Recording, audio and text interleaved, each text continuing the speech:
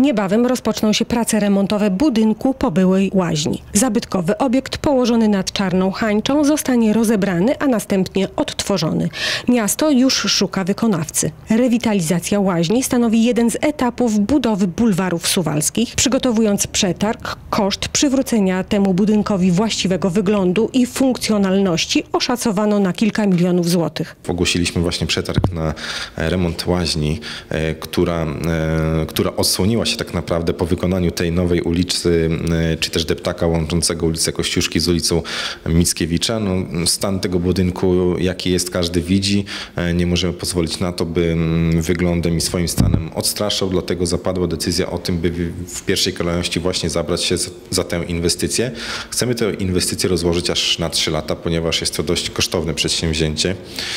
Dlatego też zakończy się ono dopiero w roku 2019 i taki jest termin wynikający z przetargu, że będzie to 30 maja tego roku. Przetarg rozstrzygniemy mniej więcej w połowie października i wtedy też poznamy wykonawcę i ostateczny koszt tej inwestycji. Obiekt odbudowany zostanie w sposób uzgodniony z konserwatorem zabytków. Zostanie on praktycznie rozebrany do zera i odbudowany od nowa.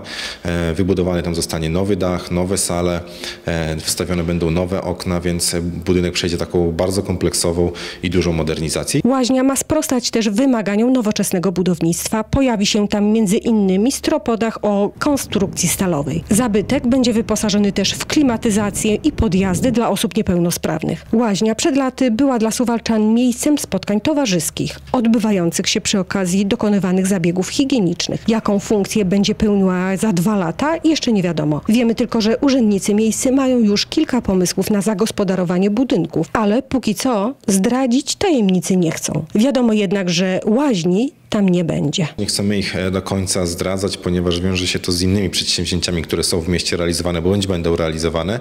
E, na początek po prostu zajmiemy się tym budynkiem, dostosujemy go do e, użyteczności i do tego, by był on otwarty, a w najbliższym czasie, jeszcze na pewno w trakcie jego remontu, powiadomimy o tym, jaka będzie jego rola w naszym mieście. Łaźnia czynna była do 1976 roku. Potem popadała już tylko w ruinę. Wisiało nad nią nawet widmo całkowitego unicestwienia, czyli bezpowrotnej rozbiórki. Na szczęście tego nie uczyniono i można nawet pokusić się o stwierdzenie, że lata świetności dopiero przed nią.